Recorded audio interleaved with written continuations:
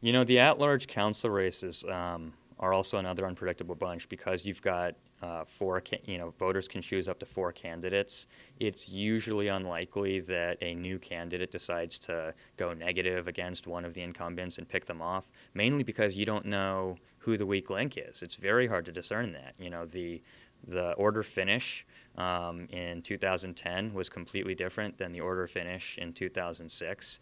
You know, and so someone that came in first uh, one cycle comes in fourth the next cycle, um, and vice versa. So it's it's it's not hard. It's not easy for new new candidates to sort of pick someone off. So I think it's unclear if you know if there's any weak link among the incumbents, and if so, uh, which one it is.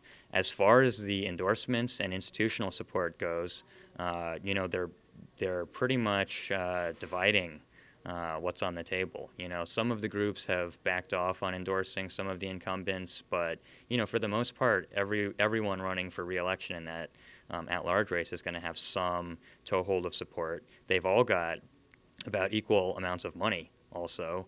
Uh, but interestingly, Beth Daly, you know, the the new candidate, um, I think she has a very real shot. She does have a, a lot of uh, groups coming behind her: the teachers, the Sierra Club, um, I think the AFL just came out for her this week. She posted a very strong financial report.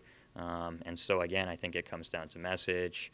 Uh, and again, we're in a, probably in a lower turnout cycle. So um, that's a situation where if you can rile up the Democratic base, I think you'll, you'll uh, have a leg up.